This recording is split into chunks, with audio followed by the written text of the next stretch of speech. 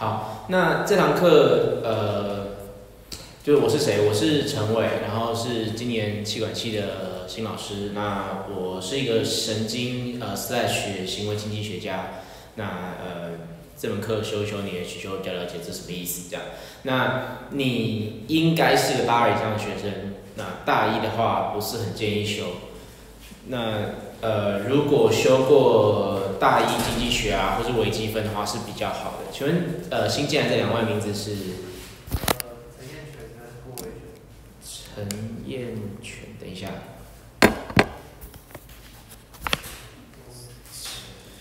陈彦全跟郭伟全啊，OK，找到。好。OK，那呃，助教未定。吴怡轩是不是？哦，OK，好。对，啊，对我只是要确一个大概人数啦，其实所以没点到其实没关系，OK，好，就是这样人数已经够了。那呃，助教的话还没有确定，那确定了之后会再。公布，不过呃，这堂课的助教也是行政类的助教啦，就不是会真的是帮你们上课或什么之类的，所以问题也是找我，所以其实呃助教对好像没什么用。那这门课呢就是 B A 三零七零，然后个体经济学，所以如果你走错教室的话，现在是就是对离开的时候，然后呃这门课是研究说。个人，呃，就是研究个体怎么做选择，就是如同它的标题写。不过个这里个体可能会有一个误会的意思就是说，其实这里个体，呃，英文是 agent 啊，或者是呃，所以这个 agent 的意思呢，可以是最简单的个人，可能也可以是一个厂商。事实上，我们整学期大部分的时间会是在讨论这两种 agent，前半时间是在讨论，呃，前三分之一到前前前半啊，在讨论个人的选择行为。那后三分之一到三分到二分之一会讨论这个厂商的决策性，中间穿插一些政府的角色，包括呃抽税啊什么之类。那政府更详细的角色会是在以后的课程才会有介绍。那这是一门社会科学哦，经济学是一门社会科学。那什么是社会科学？就是说我们用科学的方式讨论社会上的问题。那所以呢，这堂课我们不会讨，但是我们这堂课不会讨论汇率啊。或是经济成长这个问题，因为那是一门，呃，那是总经课讨论的东西哈。然后这堂课也，这堂课就就是用科学方法讨论社会上问题，所以这堂课也不会教你呃如何赚钱啊这种，就不会教你如何直接的赚钱。但这门课也不是一门纯理论课，也不会不会有任何实用价值这种成分。事实上，我们是教一些呃很基础性、概念性的东西，让你呃是应用性其实是很广的。只是不直接在这堂课上教你的应用，这样子是打底的基础啦。对，那另外常有学生问的就是说，这门课跟呃，就是应该说这通常不是一开始问啦，他学习中间的时候，大家会开始 confuse，就是说，比如说呃，不知道你在网络上听过什么左左派啊、右派啊、资本主义啊，然后跟社会主义啊什么之类的。那这门课其实也并不是资本主义 per se，就是不是资本主义本身啦，它不是不是在真的教资本主义，但是我们会讨论到一点这些。呃，观念上、想法上的问题，这样子。好，那时间的话，obviously 现在这个时间就是正课时间嘛。那星期三下午是我的 office hour。那呃，但是呃，我是希望你一定要事前跟我先约好一个 office hour，因为呃，然后这也是代表说，虽然我排列这 office hour 是星期三下午，但是其实如果你要在其他时间跟我约，只要我敲得出时间，然后你也 OK，我们是可以再约别的时间的，比如说。呃，这堂课下课之前啊，上课之前啊之类的。那呃，这间教室 obviously 是 I 一一这样子，然后我的办公室在 I 一的 I one 的八零四，就这这边楼上八楼。但是呢，办公室暂时还在整修中，然后所以呃，就暂时还没有，还也不会有办公室，所以就是你跟我约也是约其他地方这样。好，那呃第一个。问你们的问题是你为何修这门课？呃，三个同学好了，这举手一下嘛。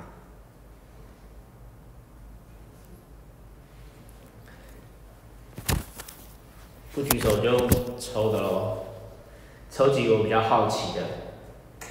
好呃陈立安。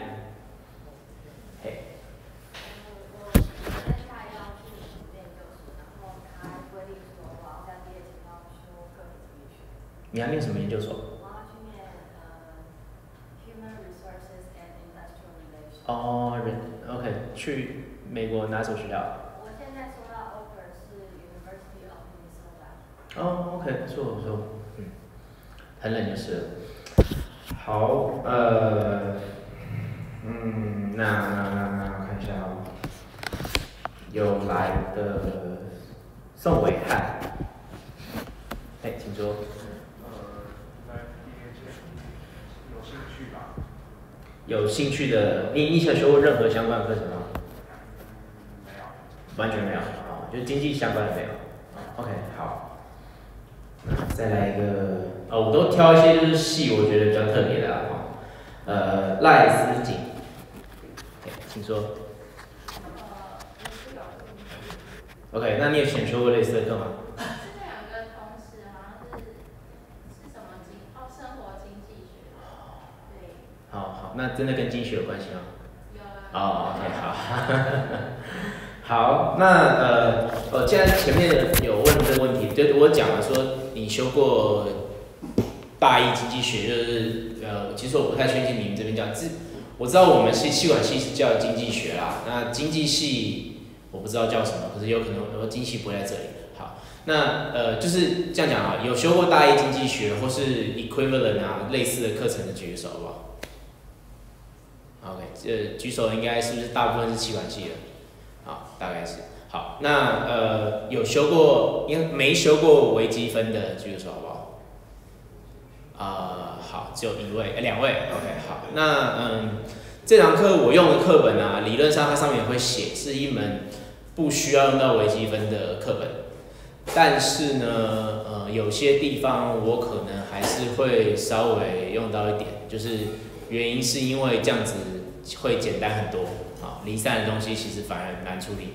那如果既然只有两位的话，就是看你们如果真的有到时候有疑惑，那再另外跟我约 office hour，我大概会花个一两个小时时间，就是 crash course 版本的微积分，就是应该就足以应付这堂课用到微积分。这堂课大概就是微分，顶多一点点积分的程度而已，就是会应该是非常简单了。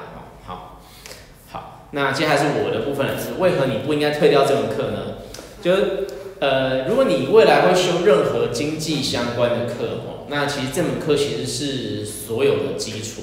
就是你可能会说，那总体经济学呢，就总体相关的课程，比如什么货币银行学啊什么之类。那事实上呢，现代的经济学几乎都是所谓的 micro base 经济学，就是说它是呃有个体基础的经济学。所以个体就是说，我们讨论总体问题也是先从个人选择出发，再慢慢 aggregate 变成所谓的总体行为。好，我今天讲话会有点抖抖，因为我现在觉得好冷。好，那嗯，那呃，我觉得这个是这个甚至有点其次。我觉得更重要的是，呃，我自己是台大经济系经研所毕业，然后再出国念经济学博士。那我觉得经济学其实最重要的一个部分是让你可以更有逻辑的去思考一些社会问题。那这个英文就叫 think like economist 这样。那这个部分的话，我觉得也在课堂中我们会讲到一些呃，尤其是应用问题，比如说我们可能讨论最低工资啊，或是讨论呃黄牛票，或者是讨论各种各种的问题的时候，议题的时候，你会发现经济学家思考的方式通常都跟呃正常人类不太一样。那这个不一样是有它的逻辑关系的，是有为也是有原因的。那我们会在这堂课学到。那我觉得也是非常有用的一个技能，这样。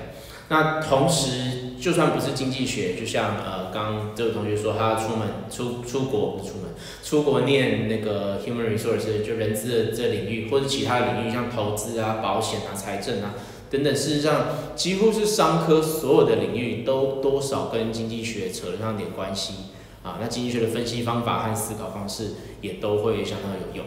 好，大概是这样子。好，那上课的呃怎么上呢？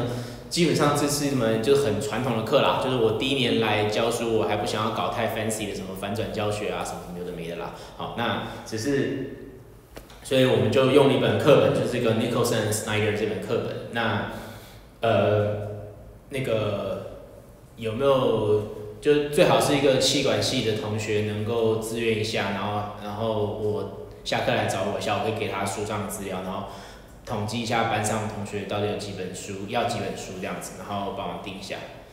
有同学吗？这么多气管系的，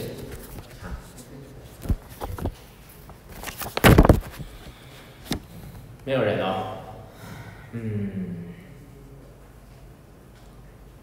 嗯，好，我们下课快下课再来 deal with this problem，好好。那嗯，睡觉啊，或是你要发呆，或是你不是很专心上课什么之类，其实我都不是很介意啊。好，那请你不要干扰其他同学上课。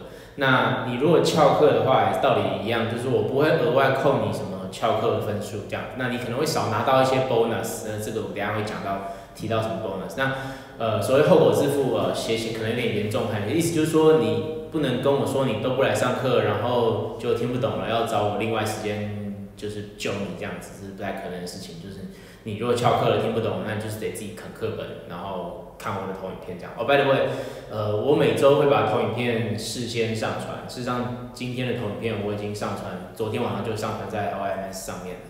呃，在我其实不太会用那个系统，所以我是丢在公告了。哦，我不知道其他老师怎么处理的，然后我是丢在公告那边。呃，如果你有看到的话，就有看到。那所以理论上你也不用抄我上课讲的东西，除非是呃不用抄我笔记上就呃投影片上就有的东西这样。那 呃看今天戴口罩的比例比上礼拜二那班比例高很多，显然大家这个对于疫情的那个呃警觉性更高。那大家就知道现在的状况就是说我们其实也是有可能要变成远距教学啊。事实上我现在也正在录我现在讲的话跟这个投影片的内容，因为呃事实上班上就有我们这个班上就有一名那个陆生，然后呃就是现在 exactly 就卡在武汉这样子。好呃，好，那作业我大概会给六次作业啊，今天不会有作业。那随机在课堂上宣布，一次就是说我今天觉得上到进度差不多了，或是呃，我觉得这一段呃那个该考，我就或者该该该当作业，我就会宣布。然后大家就，然后都是从课本上勾题目啦。那反正课本上题目勾勾，你就回去写对。那如果有非课本上勾的，如果啦，我觉得应该是不太会了，我就在另外会抛在网络上。那作业都是我都是准备大概你写一个礼拜，一个礼拜，然后花个几个小时应该能写完的量，所以希望你就是下个礼拜要交这样子。那我不收迟交的作业，因为太麻烦了，因为有人你你迟交三天，他迟交两天，对我来说实在太麻烦。但是呢，on the plus side 就是说。呃，你只要有交，不要交一个空白纸上来，只要你大致上有写内容，就是八十分起跳。你写的全对，当然就是一百嘛。那你就算绝大多数都全错了，你也有个八十分。所以就是没有没什么道理，你要迟交嘛，对不对？OK。好，那课堂上我们会跑一些简单的实验，是让我们今天就会跑两三个三个实验这样子。那呃，就让你看一下到底是怎怎么回事。然后今天我们最后一堂课会跑实验。那这个课堂实验呢，就是额外可以加你的学习总成绩。那呃，就是额外的，呃，因为分数呃比例的话是这个是额完全额外在一百帕以外的分数，所以你不拿理论上也无所谓。但如果你担心你自己快被当掉啦，或者是想要拿很高的分数啊，那这个显然是帮助你，就是比如说在期末考的时候可以多错一题的这个空间嘛。好。那 OK，讲到期中考、期末考，呃，总共会有两次期中考，一次期末考，那分别是三二六、五月七跟六一八这样子。那呃，我我不喜欢出题目难度太高的考试，我觉得没什么太大意义这样子。那嗯，对，但是呃，如果出了发现全班都答得非常的好，那也就没有鉴别度嘛，那我可能下次就会考稍微再难一点点这样子嘛就是当然还是要稍微有点。大家有点判别出来谁有好好学嘛，对不对？那基本的目标是要测试你一些基础的知识，就是主要就是上课我一定会一定有讲到的东西。那可能课本上有提到我没有讲到的，就就就一定是我先看过课本，我筛选过的重点嘛，所以我讲到了才是会比较重要的东西，就是这所以这还是考试的重点。那还有一些简单的应用，那这是无可避免的，就是呃经济学嘛，不是纯粹的学理论嘛，就是要。做一些简单应用，所以我可能会带一些时事啊什么的进入题目里面。那可是基本上，呃，其实应该都不会太难。那会需要用到数学，不过既然 given 大家就是只有两个人没修微积分，其他人的数学应该都非常好嘛，对不对？所以应该是没有太大的问题嘛，哈，对对对。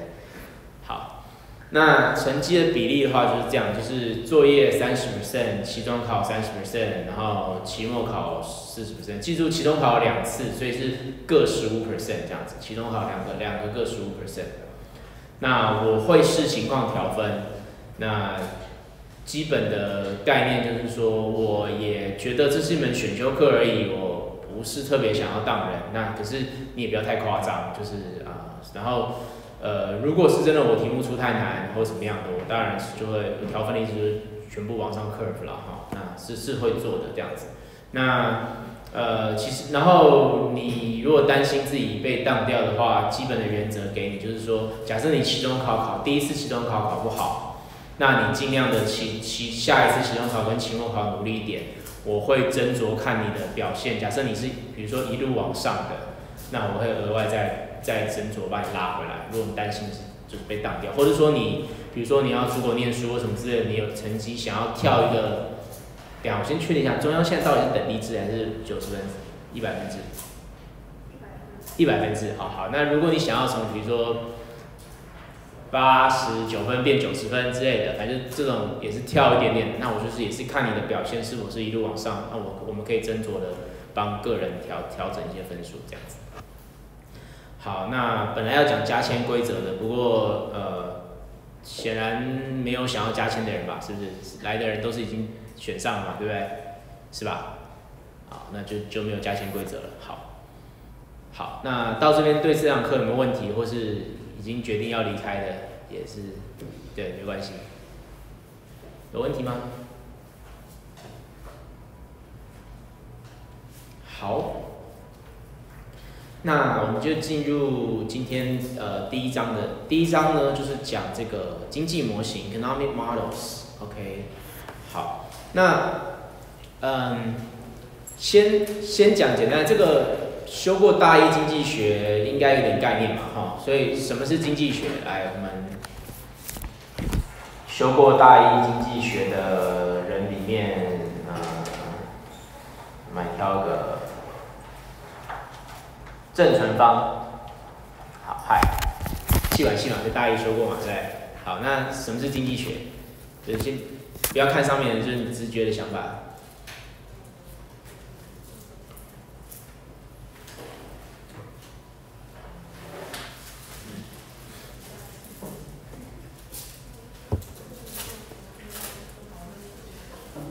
不好意思，可以稍微大声点吗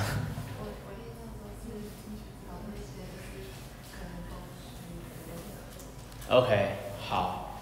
那呃，他说是讨论供需这样子。好，那嗯，其实供需啊，或是呃，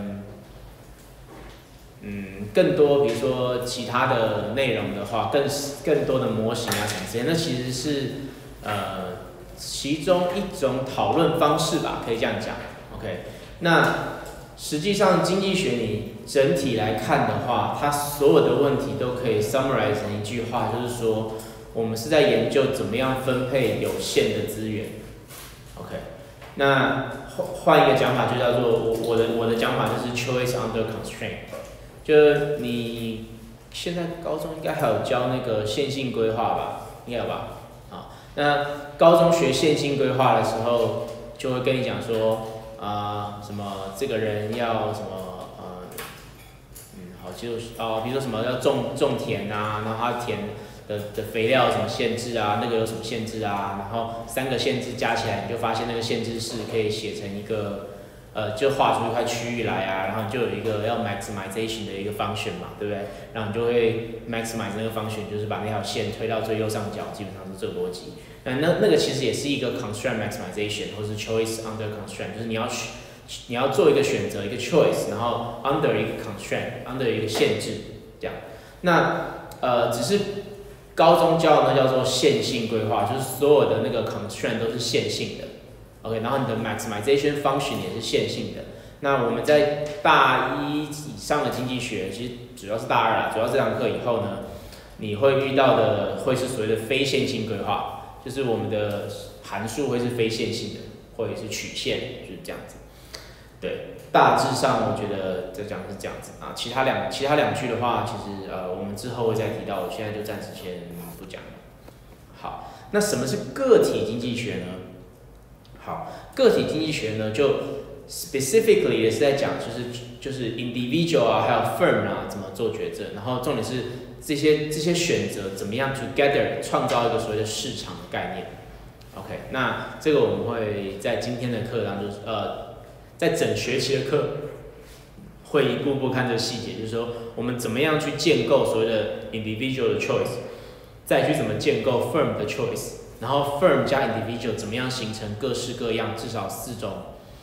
理论上，你大一经济学应该有学过的 market 就是 monopoly，呃，就是独占、完全竞争、寡占跟不完全竞争这四种市场等等的这样子。好，那实际上在 microeconomic 当中呢，我们会讨论的这个 economic choice 呢，其实各种呃选择都有，包括说你找工作啊，你是找你的伴侣啊，或是婚姻对象啊。或是你在讨论呃股票怎么投资啊？实际上我们在 uncertainty 那一章就会讲到一点点股票投资的一个一个模型，就是一个其实是一个蛮有名的模型。好，然后或者说你要租一间房子啊，那你要怎么选择？或者是说，其实任何的你只要是在社会上的选择，包括说呃堕胎啊犯罪，然后呃各种各种的，只要不是一个自然界的选择，比如说。呃，比如说那是那可能是比较物理物理学家、化学家研究的东西。那我们研究就是社会当中的各种选择行为。好，那什么是经济学的模型呢？就是 economic models 呢？就是这这这这一章的主要主题，就是在这里模型它是指呃一个理论上的一个一个怎么讲？理论上去抓住一个市场或一个现象。的一个数学表达，OK，那它理论上应该是要一个很简单的东西，哦，那很简单的原因是因为呃这样子才比较好分析，但是它必须要把重点各种细节都要抓住。那嗯有一句我很喜欢的话，就是呃这边写第二句，All models are wrong, but some are useful，就是说你用一个模型去模拟一个。呃，现实社会，或是说，即使是在自然科学当中也常见这个状况，就是物理学当中有一些很多模型其实是呃简化的模型，或是说不考虑很多因素的模型。那这些模型，所以因为它简化，因为它不是完完全全真实的，那所以它注定都是错的，没有一个模型是真的正确的。但是有一些模型会比其他模型比起来有用。好，那这个有用就有很多个面向了。呃，一个现在比较流行的概念就是预测，比如说，假设我能写出一个模型出来，那预测了股票市场或是保险保险市场或是汇率市场的涨跌，那我就可以拿来赚钱嘛。那这对我来说，假设我的目标就是为了要赚钱，那这就是很有用的一个模型。那呃，经济学家的话，相对比传统经济学家其实比较没有那么 care 这个部分。另外一种有用的方式就是说。当我这个模型可以正确的把主要的社会现象抓住，可以让我知道说这个社会现象它的 mechanism 是什么，机制是什么，那这就会是一个好的模型。好，那这个我们陆陆续续在未来，呃，你可能会有更深的体会，这样子。那好，我们现在就讲一个最简单的一个模型。好，这个这个模型简单到基本上，呃，就就这么一条线，就是 x y 轴之外，就是画一条线就表达了。那这个你在金元上，其实理论上应该也有看过才对。OK，那这个经济体呢，我我就假设这这都是简化嘛，哈，我的我我就假设这个经济体只生产食物，OK，跟衣服，然后食物我就放在这个。这个这边，然后那个衣服我就放在这一轴，OK，好，那这一条线呢，告诉我的是什么呢？告诉我的是说，应该说这你想象这一块区域好了，这一整块区域，包括这条线的这一整块区域，这一块区域代表的是任何可能生产的组合的一个集合。，OK，任何这一个任何一个点在这里。在这个里面，在这条线上的点，都是可能可以生产的。那它之所以叫做呃 production possibilities frontier，frontier 就是就是边缘嘛，边界嘛。那它的意思是说，因为这这条线，嗯、是最外缘的嘛，所以这是最远最远可以达到的边界。那这些都是所谓的 inner point，这些这些点都是 inner point，它是在里面的嘛。OK，所以它不是 frontier 这样子。好，那这就是一个简单的描述说，这是一个什么样的模型呢？这是一个描述某一个社会它的科技的模型，可以这样想象。这个这个小岛国家，比如说，它就只生产两种东西，一种叫食物，一种叫做呃衣服，它就只管十一这样子啊，其他都不管了，住行娱乐都不管了。那，呃，这对，这就是这样的模型。那这样的模型超级无敌简化嘛？Obviously，你知道任何一个再小的国家，就是呃，比如说台湾某些邦交国，那在在南太平洋，它是一个非常小的岛，只有几万人，它也不可能只生产两种产品，对不对？好，可是呢，这个模型呢，嗯，OK 啊，这对不起，我我其实就是这个我已经讲掉了，OK 好，跳过。那可是实际上这个模型呢，其实阐述了五个很基本的这个 principle，是呃，甚至不是在这个模这个这个世界，我需这个简单的生产世界里面，我需要 capture 的，是很多经济学模型都会用到的概念。OK，那这五个概念，第一个概念叫做呃那个 scarce resources，就是资源的稀缺性。在这里，资源的稀缺性是怎么表达的呢？就是我刚刚说过，你在这个 frontier 的内部，你都是可以生产的点，包括在这个线上面，这些点都是可以生产的。可是，在这个外面这个点呢，你是不能生产的，就是代表你的资源是有限的，你不能够生产到无限元、也无限多的组合，或是即使是超出一点的限制，你都做不到，就这么简单的一个概念。好，那嗯，对，这是同样的例子。好，那第二个是说，嗯，所谓的这个 scarcity 啊，它是有一个机会成本的概念在里面的。OK，那什么是机会成本？这个应该也是呃，这比方说大 A 经济学啊，各位高中公民课应该都有学过嘛，对不对？机会成本的概念上大家都懂啊，就是说，它是说我呃，我做一件事情，造成我不能做的那些事情或不能取得的东西，那些东西叫做我的成本，最大的那个是我的成本，这样概念上是这样子。那呃，从我们这个模型里面概念就是说，呃。我们只有两种产品嘛，衣服跟呃食物嘛，对不对？所以我要多生产一点食物，我就必须牺牲什么？什么？衣服嘛，对不对？那反过来，我要多生产点衣服，我就要牺牲呃食物嘛，所以他们就互为对方的机会成本。那在图上看起来呢，呃，就是像这样，就是说我从这个我想要多一单位的这个。衣服，那我就是要减少生产零点五单位，这边多一，那我那边就是要减少零点五单位的这个呃呃食物，这样子。那我如果一口气跳九个单位来，那个多生产九单位的衣服，那我就一口气要减少六单位生产的那个食物，好，所以就总有一个 opportunity cost，OK。就是这是这是这个也是，所以呃，用比较数学的讲法，就是说这个图这个曲线，这个这个 frontiers 它的斜率在各处基本上都是负的，那就代表你的 opportunity cost 是正的，听懂吗？就是互相你要是互相要 trade off。OK，。那第三个 principle 也是很重要的 principle，就是你的 opportunity cost 一定是 increasing 的。OK，你的机会成本只会随着你要坚持砸更多成更多东西做某件事情，你的机会成本是越来越高的。这个在呃李嘉图写的一八叉叉年写的经济学书里面，他他观察到的是说，假设一个农夫要呃种田好了，他一定是先挑最好的那块田来生产，那它的成本一定是最低的。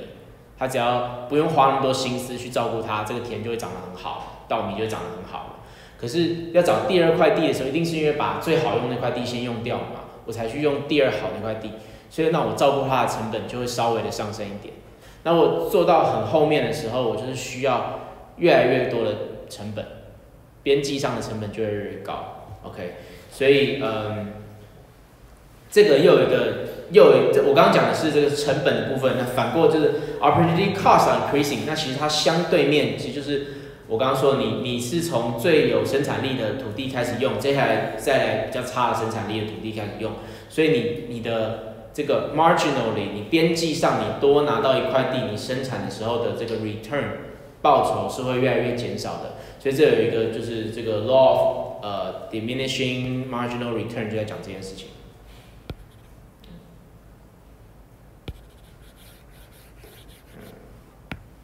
的这个好，那这就在讲说你的 marginal 的 return 会越来越少，越来越少，就是 diminishing 嘛。好。那这个在这个呃呃那个叫什么图上是怎么显示的呢？那这里其实概念上也很简单哈，就是说，记得我们刚刚说你从三单位的呃衣服要变四单位的衣服，你这边就你需要牺牲零点五单位的食物。那注意哦，这边零点五单位的食物就是一单位的衣服的机会成本，这样懂吗？那你反过来可以讲说，零点五单位的食物，你要多零点五单位的食物，你就要牺牲一单位的衣服，这时候它机会成本就是一单位的衣服这样子。零点五单位是一单位，所以你一单位就是两单位，大致上嘛，因为它是曲线，其实不一在这里是这样，那差不多。OK，那可是呢，如果这是你从三单位要变四单位，可如果你从十二单位要变到十三单位，你要是多已经很多了，还要再更多，同样是一单位。我这边要从四单位降到两单位，就是减少两单位，所以这个二大于零点五，就是在说明这个 opportunity costs are increasing。OK，那从数学的角度来看，就是这边这个斜率比这边这个斜率绝对值来说比较小。OK，就是斜率绝对值来说比较小。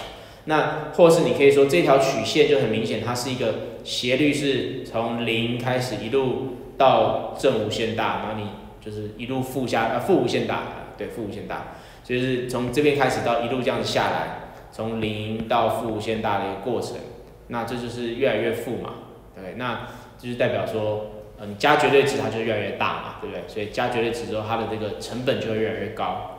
那你可以验证一下，其实你反过来做这件事情的时候，就是你从你你是要更多的这个东西的时候，其实你概念上是一样的，你。斜率一样，或是你把这个图等于是翻转过来看，x y 轴交换，你看结果是一样的。这个 opportunity cost 对于另外一边来说也是 increasing 的。好，那第四个呃原则就是所谓的呃 incentive matters，就是说这个诱因很重要。那这其实也是某种程度贯穿整个经济学的一个概念啊。哈，你呃你如果学了。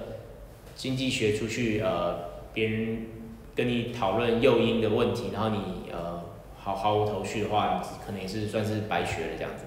那呃，这个这里的话，其实不太能再用这个图形表达。可是之后我们会看到，就是说，呃，或是说你想象的是说，这个是这个那个 production possibility frontier 啊，我们画的比较漂亮，到时候。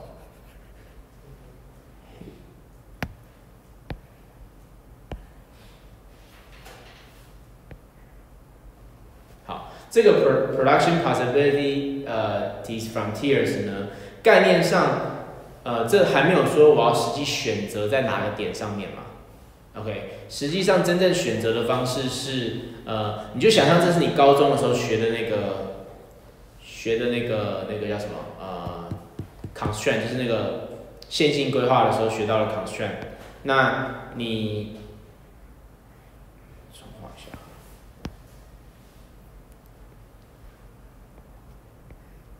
这是那个 constraint，那你要 maximize 的，现在假设是一条直线的话，你找的就是想办法把这条直线相切于一个点上面，然后推到最外面嘛，就是你要让这个呃你的那个叫什么线性规划的那个要极大化的式子往外推嘛，那你就是会选择在这个点上选择某个点做你的生产啊。这边听不如果听不太懂没关系，只是我只是要讲概念而已。那所以事实上这个选择为什么是选择这个点，就 depends on 你这条线这条线的斜率嘛。这条的 slope 会决定我要生产在哪边。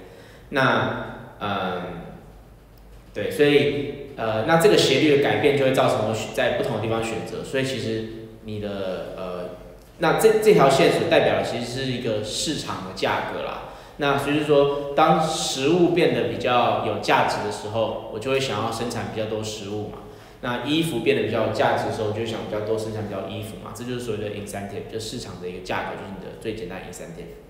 那有时候呢，这个 incentive 是被扭曲的，就是说，当政府会举举例来说啦，就是有些时候是你人就不是很容易看得清楚自己的这个呃机会成本。再来就是说，呃，这个那个呃，政府有时候会抽税或者进行一些补贴，对不对？那这时候其实也是扭曲市场的，或者说像你们现在戴的口罩，呃，有多少人的口罩是那个七天两片领到的？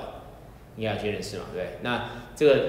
为什么有个七天两天？就是因为政府做了管制嘛。那政府做了管制，那 by definition 就一定有扭曲某一部分的市场，那就会造成这个 opportunity cost 真实的 opportunity cost 其实是相对难难去观察到的。OK，好，那第五个 principle 的话就是说，这个当你是有呃 inefficiency，所以这里 efficiency 是说你生产在这个这个线上，这个 frontier 上面啊，这叫做这叫做 in efficient，那如果你是 inefficient 的话，就是生活在这个里面内部的点的话，OK，那生活在这个生生产在这个内部的点的话，意思是说，你可以在不牺牲那个衣服了之后增加你的食物的产量，或是在不牺牲食物的产量状况增加衣服的产量，或是同时增加这三这两种的产量，都是做得到的。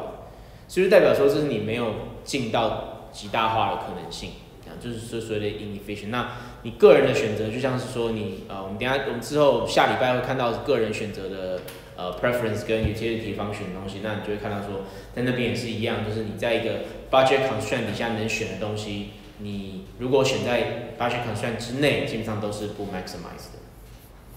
好，讲到这，呃。对于这个 PDF 有没有什么问题？没，有问题吗？好，那剩八分钟，我下节课再继续讲这个 Supply Demand Model。我们先来解决一下课本的问题吧。诶，气管系，气管系，气管系。气管系有两位大四的，哦，对对，四五哦六位呃四四位大四的，严博和戴玉成，然后傅君泽跟林啊不对，傅君泽跟郑成芳，你们四个人协就都大四了嘛，学长学姐对不对？商量一下。一个人出来负责一下，很简单的事情啊，就是给你一个资讯，然后你你统等一下下课时间统计一下班上多少人要课本，然后处理一下。好了，刚刚四个人在哪里啊？刚我点到那四个人，严博翰，啊，戴玉成，好，OK OK，好，对，在嘛，所以 OK 吗？还是有什么困难？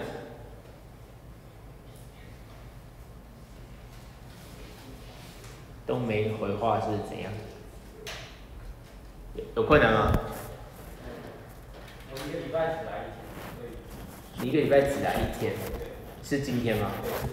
啊，呃，那你只是需要呃，那你反正你们四个人协调一下，找一个人出来，只只只是要今天等一下统计一下班上几本书，然后给你书上的资讯，你跟他讲，然后你帮忙大家收了钱什么之类的啊。其实我没有处理过这种事情，我搞半天人家怎么做，概念上是这样子。